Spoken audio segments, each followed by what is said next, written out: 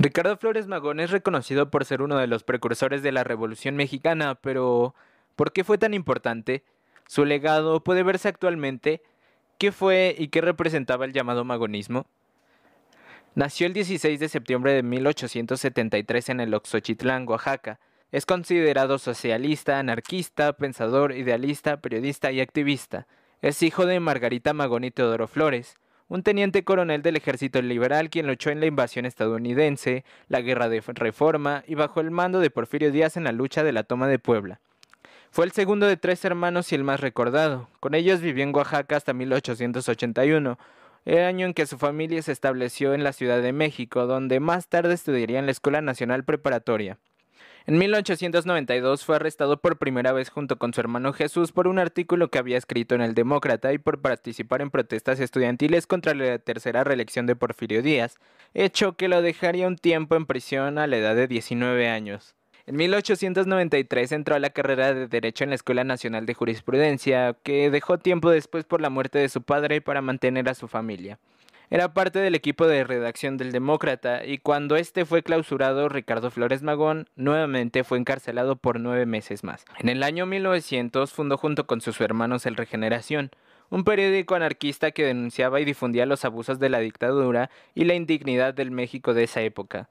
Nuevamente fue encarcelado en 1901 por sus artículos en el periódico que escribía y en el mes de octubre fue cerrado el Regeneración. En 1902 fue liberado y se unió a El Hijo del Aguizote, un periódico fundado en 1885 por Daniel Cabrera, donde también escribió artículos antidictadura y parecidos a lo que había hecho anteriormente en El Regeneración. En 1903 escribió el artículo de la famosa frase La Constitución ha muerto y promovió una manifestación en las oficinas del periódico con este lema. En 1904 la Suprema Corte de Justicia prohibió las publicaciones de Ricardo y sus hermanos y después todo artículo o periódico opositor a la dictadura. A partir de ese año se exilió en los Estados Unidos, donde permaneció hasta el final de su vida, aunque gran parte de ese tiempo estuvo preso. El 12 de septiembre de 1906, Ricardo Flores Magón publicó una circular donde se intentaba hacer que el pueblo mexicano se levante en armas contra la dictadura porfirista, esto cuatro años antes de que la guerra estalle en toda la nación. Sin embargo, no logró su cometido. Para 1907, nuevamente fue encarcelado en los Estados Unidos, con tres años de condena, pero varias organizaciones socialistas de ese país impidieron su deportación a México, y a pesar de estar en prisión, organizó la revolución, programada para empezar el 25 de junio de 1908, pero los grupos que apoyaban esta causa fueron desarmados antes de ese día. En 1910, al salir de prisión, se enteró que se confundían el movimiento del maderismo con el suyo, el magonismo, habiendo volantes que postulaban a Madero como presidente y a Magón como vicepresidente. Sin embargo, Ricardo no aceptaba esto ni de que, ahora sí, con el movimiento revolucionario iniciado, Madero estuviera a la cabeza. Unos dicen que ese puesto le pertenecía a Ricardo Flores Magón. Ricardo nunca aceptó el movimiento maderista, puesto que lo consideraba como una revolución de la burguesía. Del otro lado, Madero tampoco simpatizaba con el magonismo porque era un movimiento socialista, siendo el maderismo un movimiento meramente demócrata. En 1918, con el magonismo ya debilitado, fue publicado el Manifiesto Anarquista del 16 de marzo de 1918, por el cual Ricardo fue perseguido por el gobierno estadounidense. Esto por promover ideas comunistas y sabotear de cierta forma la lucha contra el comunismo. Esto ya iniciada la Primera Guerra Mundial. Fue arrestado y condenado a 21 años de prisión, donde moriría más tarde. Esto fue en una prisión de Kansas el 21 de noviembre de 1922, oficialmente por un paro cardíaco, aunque se especula que no es lo que realmente ocurrió. El magonismo. Aunque así se le llama al movimiento para facilitar su estudio, nunca se aceptó que se les llamara de esa manera los simpatizantes, aunque sí, quienes estaban notablemente a la cabeza eran los hermanos Flores Magón, no se consideraban como una autoridad o con más relevancia que otros. Si fuese el caso, sería una contradicción al anarquismo que bien sabemos rechaza toda idea de autoridad. En la época quien usaba el término era más bien el gobierno de forma despectiva y opositores del movimiento, ya que estaban conscientes de los ideales anarquistas que representaba este movimiento. Eran anarquistas puesto que tenían la idea de no necesitar algún líder o jefe, ya que si éste era encarcelado, asesinado o desaparecido, el pueblo podría seguir por su cuenta. Desde antes, en el Regeneración se tenía la idea de que la revolución tendría que llevar a un comunismo anárquico, es decir, una nación donde no exista propiedad privada, gobierno, trabajo asalariado y donde los medios de producción sean de y para el pueblo, y una democracia directa o pura, es decir, la que se usaba en la antigua Grecia, donde el pueblo en una asamblea toma decisiones sin necesidad de representantes. Hubo intentos de levantar en armas mucho antes del 20 de noviembre de 1910, estos planeados por los Flores Magón. El primero, en 1906, como se mencionó en la parte de la vida de Ricardo, fue convocado mediante una circular. Sin embargo, al estar en Estados Unidos, este solo llegó a los estados del norte de México, entonces se reclutaron pocas personas que rápidamente fueron oprimidas y abatidas por las tropas gubernamentales. La segunda en 1908 ni siquiera pudo levantarse, se organizó con antelación desde prisión y al haber corrido los rumores, la policía de la época quitó las armas a los simpatizantes, por lo que no se logró nada. Parte del movimiento también puede considerarse que era el Regeneración, puesto que era el periódico fundado por los hermanos Flores Magón y donde expresaban sus ideologías anarquistas. Era un periódico que frecuentaban las clases obreras y los anarquistas, quienes eran los principales simpatizantes. Los redactores y quienes trabajaban en este periódico, que no eran pocos, fueron aprendidos y perseguidos en múltiples ocasiones por la dictadura de Porfirio Díaz, estando dentro y fuera del país. Según unas fuentes, el periódico llegó a tener unos 3.000 autores durante los 18 primeros años de este. Antes y durante la Revolución Mexicana pues, se publicaron 381 números. Este periódico fue clausurado y reabierto por muchas ocasiones. Para su estudio hay quienes lo dividen en cuatro épocas la primera época abarcó del 1900 al 1901, desde su fundación a cuando amenazaron de muerte a los hermanos si publicaban algún otro número, además de que la imprenta que utilizaban fue destruida. La segunda época, después de tres años de inactividad, con duración de tres meses de activo de nuevo, fue de noviembre de 1904 a enero de 1905,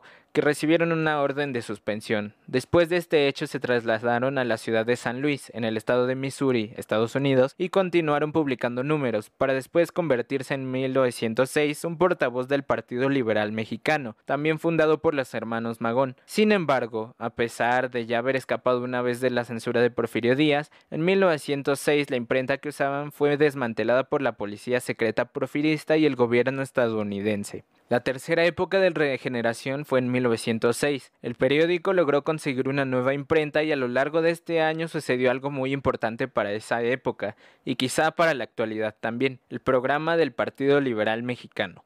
La cuarta época es la más larga de estas cuatro. Duró de 1910 a 1918 y se caracterizó ya por la desunión de los miembros del Partido Liberal Mexicano y porque se editaban los números en la Ciudad de México, pero también en Los Ángeles, California. En 1912, quienes editaban en los Estados Unidos fueron arrestados por infringir leyes de neutralidad. El periódico quedó en manos de Antonio P. Araujo y después de Rafael Romero Palacios hasta 1914, que fueron liberados los hermanos Magón. Fue en 1918 que Ricardo y Librado Rivera publicaron el Manifiesto Anarquista, por el cual fueron aprendidos y condenados a prisión, donde murió Ricardo Flores Magón. Y sí, en la tercera época se publicó el programa del Partido Liberal Mexicano. Sin embargo, esto no nos dice nada sin conocer qué fue el Partido Liberal Mexicano y su programa ya mencionado.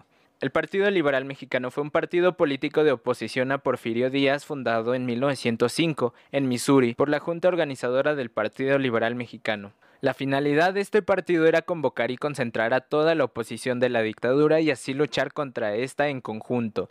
Quienes estaban a la cabeza de la Junta Organizadora del Partido Liberal Mexicano hasta su cierre definitivo en 1918 eran personas relacionadas al regeneración, entre ellas, por supuesto, Ricardo Flores Magón y su hermano Enrique. El partido estuvo detrás de muchas huelgas e intentos de revolución, incluidas las de 1906 y 1908. Sin embargo, estas fueron reprimidas por órdenes de la dictadura. El partido contó también con un ejército conocido como el Ejército Libertario Mexicano, no tanto con el fin de combatir, sino con la intención de que cuando la rebelión haya dado frutos, defender la libertad y soberanía que planteaba este partido político. Aunque el grupo fue llamado y considerado propiamente anarquista, algunos miembros no estaban completamente de acuerdo con algunas de las ideologías del anarquismo, por lo que en el programa del Partido Liberal Mexicano se planteó más bien un comunismo anárquico. El programa del Partido Liberal Mexicano se publicó el 1 de julio de 1906 mediante el Regeneración con unos 250.000 ejemplares impresos que se distribuyeron por muchas partes del planeta. También se puede considerar importante porque, según mencionó el presidente en turno de la República, Andrés Manuel López Obrador, el plan de desarrollo nacional de su sexenio está basado y se ve fuertemente influenciado por este mismo programa publicado en 1906. Este programa incluía asimismo las exigencias de las clases bajas y medias del campo y la ciudad. Contaba con 52 puntos, en los que se incluían reformas constitucionales, puntos para mejorar y fomentar la educación, dos puntos controversiales sobre extranjeros, que eran no admitir inmigración china y quitar la nacionalidad primaria al extranjero que adquiera bienes y raíces en el país, regulaciones al poder eclesiástico, 12 puntos sobre capital y trabajo, que establecía prohibir el trabajo a menores de 14 años, obligar a dueños de fábricas y minas a mejorar las condiciones de trabajo en sus establecimientos, las 8 horas laborales, entre otras. Incluía también regulaciones sobre las tierras cultivables, estableciendo que en caso de no ser productiva una tierra, se le confiscaría al dueño, que el Estado proporcionaría tierras a quien lo solicite, siguiendo la condición anterior, entre otras, así como sobre los impuestos y otros 10 puntos generales, incluyendo también con una cláusula especial que decía que la organización del partido se comunicaría con los demás gobiernos de los otros países para notificar que el nuevo país no quería tener más deuda externa y que no reconocería nuevas deudas sin excepción. Podemos concluir entonces que Ricardo Flores Magón es un personaje muy importante tanto para la Revolución Mexicana como para el México como lo conocemos actualmente, este al ser un producto directo de la Revolución. Indudablemente Ricardo es un pilar en esta nación, a pesar de no ser tan recordado, quizá por la postura que tuvo ante el movimiento revolucionario de Madero y lo que pensaban los revolucionarios maderistas sobre él es que actualmente no tiene el reconocimiento que debería. Sin embargo, por toda su obra e ideales fue que logró trascender es todo por mi parte. Gracias por ver.